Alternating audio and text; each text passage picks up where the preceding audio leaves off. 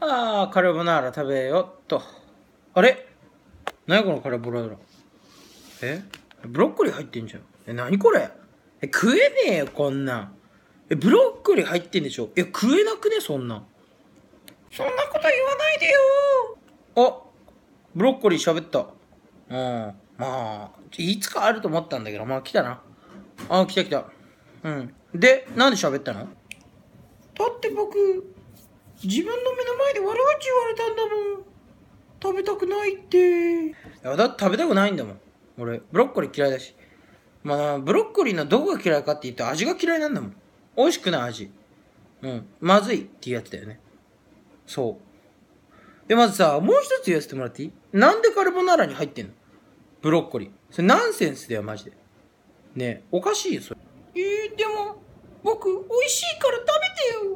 うん、まあ入っちゃってるからね。まあ俺は、君を避けて食べたいんだよな。まあ最終的には俺は食べないけど。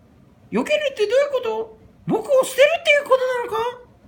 僕を捨てるっていう、僕捨てられるために生まれてきたわけじゃないよそりゃそうだな。うん、食べられるために生まれてきたんだと思うけど、でもさ、俺にだって食いたいもんあるし、食べ物を選ぶ権限だってある。今回食べ物を選ぶ権限で、俺はカルボナーラを選んだけど、ブロッコリーを食いたいなんて一言も言ってない。マジね、ブロッコリー入ってる。どういうことか？カルボナーラにブロッコリーが入ってる状況っていうんだよ。すべてにパイナップルが入ってくるくらいおかしいんだよ。ね色はおかしいじゃん。黄色、赤、緑。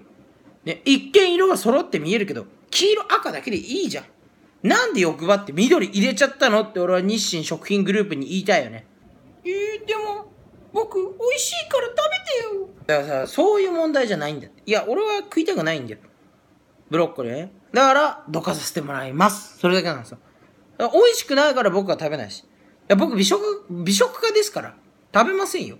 ブロッコリーは。美食家っていうのは美しく最後まで食べることの言うんじゃないの？まあ確かにそういう言い方もあるけど、俺は違う。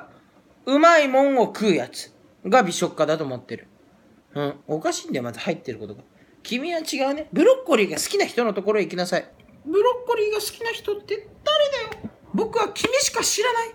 君と工場ライン製造場と農場の人しか知らない。あんなに愛を込めて作ってくれた農場の人。あんなに丁寧に作って入れてくれたライン工場の人。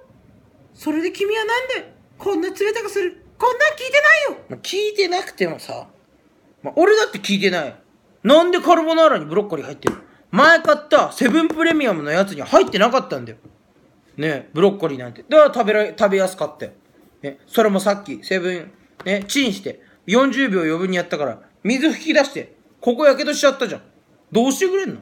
当てつけはやめてよまあいいよ。もう俺は食わない。まあどうやったって食わないからね。俺は食わないから。ごめんな。うん。俺だって全部食いてえよ。でも食えねえんだよ、美味しくねえから。君が美味しくなってから。また来てくれ。僕んとこに。美味しいブロッコリーになって、生まれ変わってから。俺の前に来てくれ。わかった。僕は、美味しいブロッコリーに生まれ変わる。行くぞ、次郎と三郎。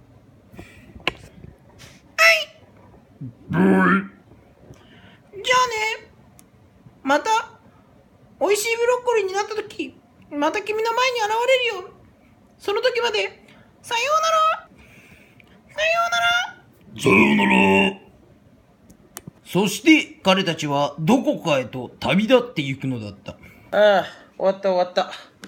じゃあ食うか。よし。じゃあさっきブロッコリーがあったとこからちょっと、ああ、でもその前にかき混ぜなきゃ。ああ、なんだったんだよ、あいつら。好き嫌いはしちゃダメって、親に言われてんだよな。父ちゃんには、出されたもんは全部食えって。まあ今、共働きで誰もいないからこういうことができたんだよ。ああ。なんかひどいことしちまったかな、俺。うん。まあ、美味しくなってから、あいつら、また出会えるといいな。